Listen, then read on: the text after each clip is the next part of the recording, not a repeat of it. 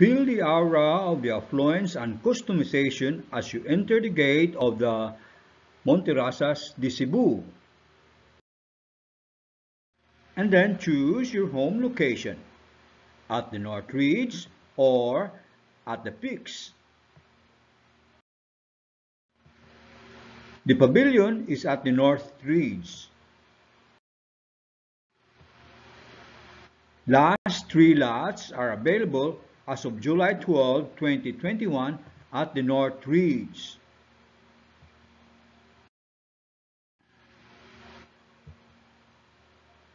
You arrive home in half an hour from business and still very much in the heart of the city, yet far from its hustle and bustle. The peaks tree has the city and mountain view plus the verandas.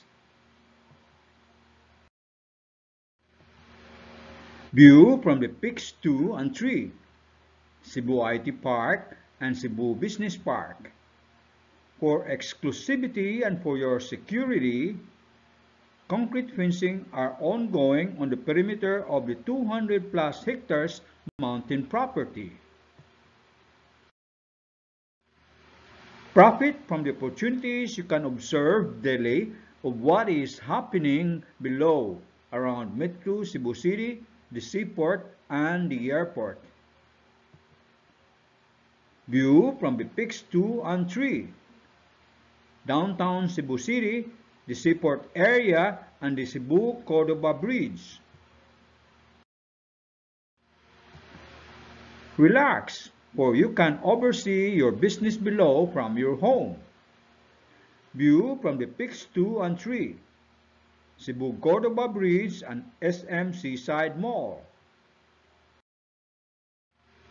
View from the peaks 2 and 3, SM Seaside Mall and South Road Properties.